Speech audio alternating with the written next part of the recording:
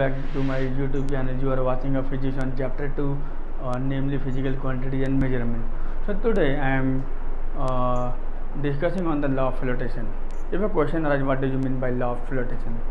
When a body floats in a liquid, when a body floats in a liquid, then the total weight of a body is equal to the weight of the liquid displaced by its immersed part. Okay, so this is the uh, law of flotation. So what is the principle? Uh, you must uh, keep in mind uh, when a body is immersed in a liquid, then two type of forces act on it. Two types of forces act on it. One force what?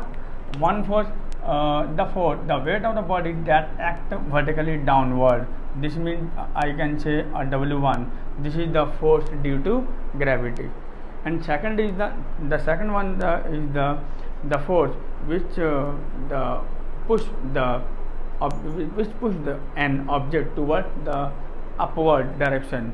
Is the it is the buoyant force. What? Buoyant force. तो से W2 okay एक force है जो ऊपर से नीचे की तरफ़ जाती है फोर्स ड्यू टू ग्रेविटी के हिसाब से, उसको मैंने क्या मान लिया? W1 दूसरा जो फोर्स है, जो नीचे से ऊपर की तरफ़ जो ढकेलती है पानी के अंदर में, उसको हम लोग क्या बोलेंगे? बायोन फोर्स तो अब ये बॉडी डूब डूब जाएगी या तैरेगी या किसके ऊपर डिपेंड करती है?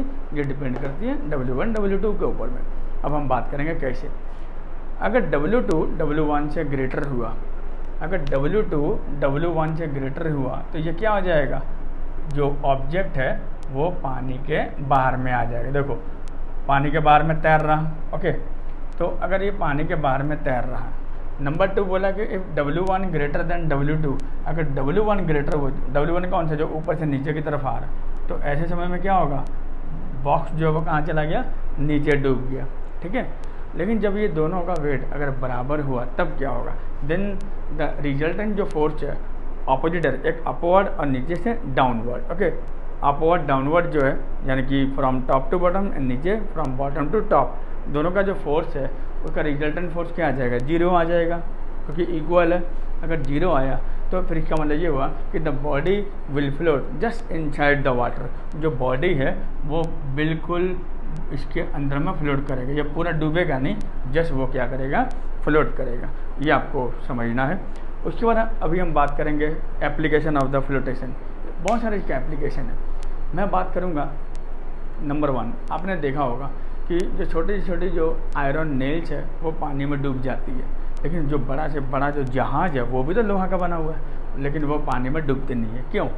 This is because the density of an iron nail is greater than the water so therefore it sinks in in water okay on the other hand the density of the ship because inside the ship there is a huge volume ना उसके अंदर में बहुत सारे क्या होता है? Volume होते हैं अमाउंट ऑफ़ वाट एयर उसके अंदर में एयर होते हैं, जिसके चलते वॉल्यूम ज़्यादा होने की वजह से इसकी डेंसिटी क्या हो जाती है? कम हो जाती है। इसलिए ये जो शिप हैं, ये they can easily float in a water okay second point that a man can easily swim in a sea water but it is difficult to swim in a river water ऐसे क्यों? क्योंकि जो sea water है sea water contents a large amount of what mineral salt dissolved in it so therefore it has more density on the other hand the river water does not content in mineral salt okay so therefore it has high density so it is easy for a man for a person to swim in sea water as compare to river okay